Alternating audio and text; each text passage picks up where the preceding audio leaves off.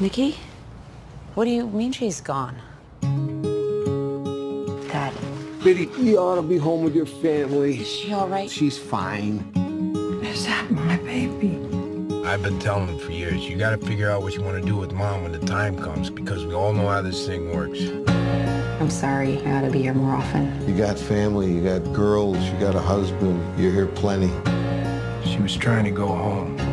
She thinks she's still a little girl, and she can't figure out why she's stuck here. Who's that? Oh, what is that? You know who that is?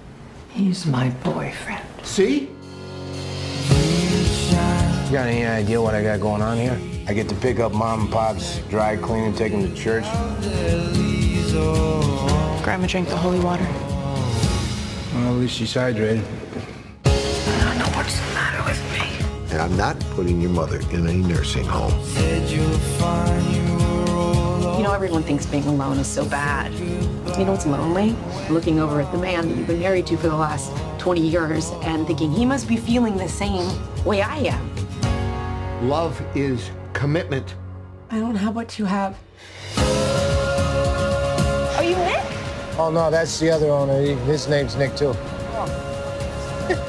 of course it's me. I got my life savings dumped into this place. You're a bartender. Bar owner, Dad. You know, I'm gonna have a baby. Did you notice that? I heard. You saved all your old baby clothes.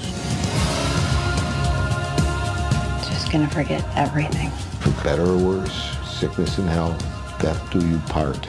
That is the promise. She's my girl. You can't take my girl away from me. What happened to quitting? Life, Betty. Life happened to quitting.